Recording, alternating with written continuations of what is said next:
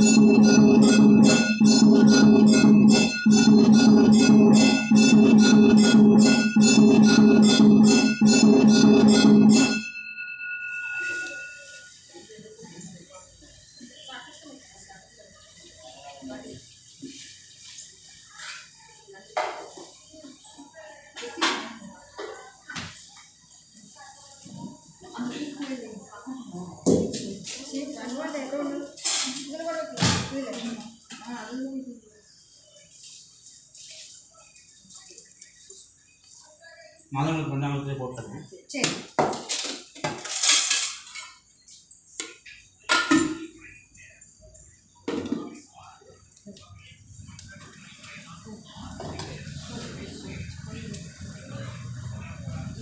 Thank you.